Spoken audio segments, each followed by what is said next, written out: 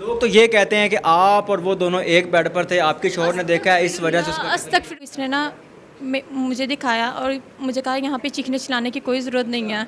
ये ना यहाँ से भागने की ज़रूरत है बाहर दो लड़के हैं मैं उनको भी अंदर ले आऊँगा। अगर यहाँ पे ज़रा भी चीखी चिल्ला सर उसके सीने पे लगा था जिस बात से उसकी उधर ही घर में डेथ हो गई। आपके घर में होगी यस सर आपके घर में उसकी डेथ हो गई हमारे घर में ही हो गई थी उस लड़के की रईस की वो ये कह रही है कि आमना मेरे बच्चे से पैसे खाती रही है उसके साथ फ़िज़िकल होती रही है उससे ये करवाती रही है ये करवाती रही है।